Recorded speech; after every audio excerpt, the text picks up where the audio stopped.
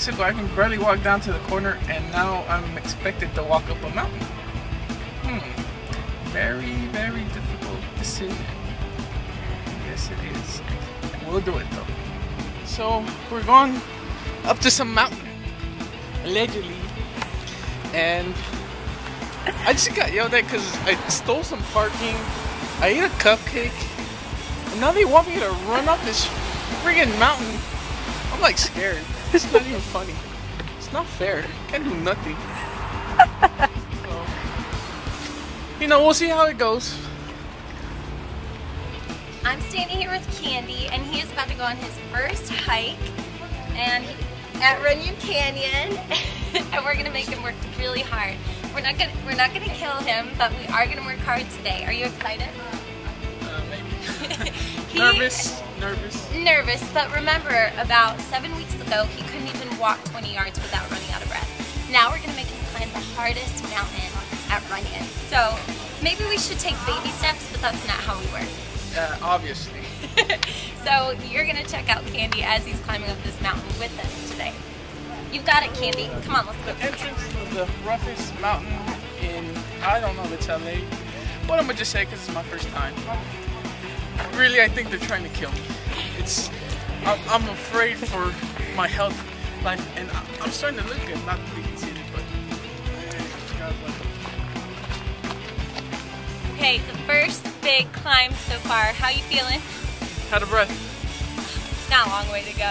That's just the beginning. It's just the beginning. But you're gonna make it. Yes, man. Thank you.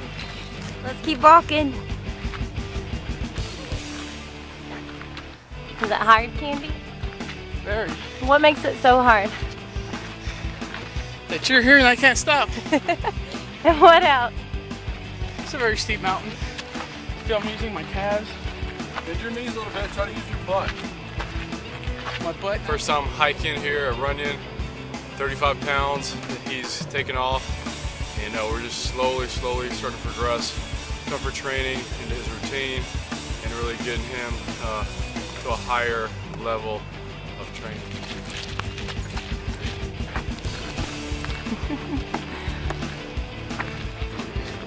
How do you do, Zac?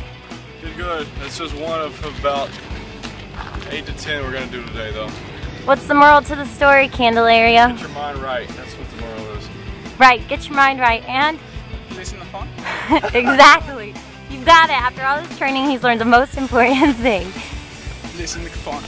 Exactly. Feeling dizzy yet, Cande? No, I'm not. Surprisingly, um, as Zac's been saying in the background, keep my pace.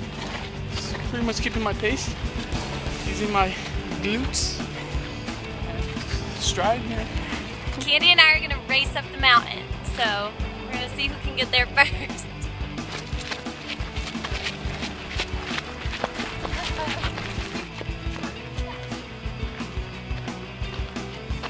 Hard. It's an attainable goal. Know your limitations. Start out slow. Don't kill yourself. Because you're getting healthy to live longer.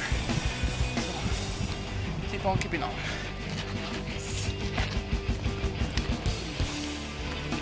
Go, go, past that, past that, past that.